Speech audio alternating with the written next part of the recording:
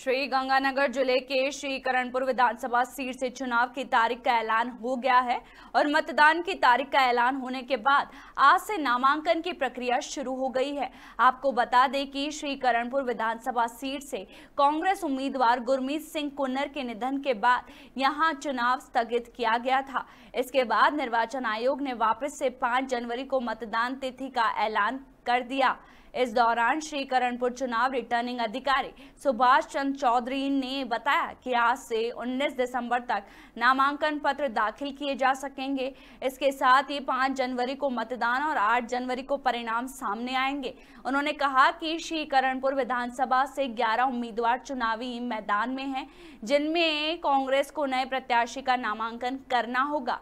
वहीं श्री करणपुर विधानसभा क्षेत्र में कुल 249 मतदान केंद्र है जहाँ सभी मतदाता अपने मताधिकार का प्रयोग करेंगे।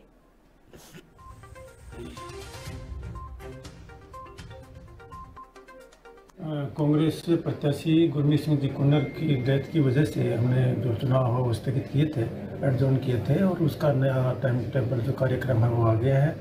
और आज गजट नोटिफिकेशन के साथ ही नामांकन प्रक्रिया शुरू हो गई है।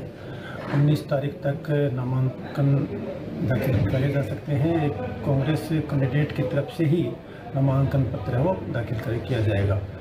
20 तारीख को नामांकन पत्रों की समीक्षा होगी और 22 तारीख जो है वो नामांकन वापस लेने की विड्रॉल का अंतिम डेट है। पोल डे जो है वो 5 जनवरी रहेगा और 8 जनवरी का काउंटिंग का डेट शेड्यूल रहेगा।